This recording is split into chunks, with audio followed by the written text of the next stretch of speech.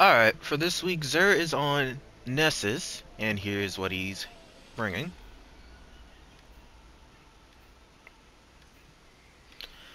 Here are the legendary weapons.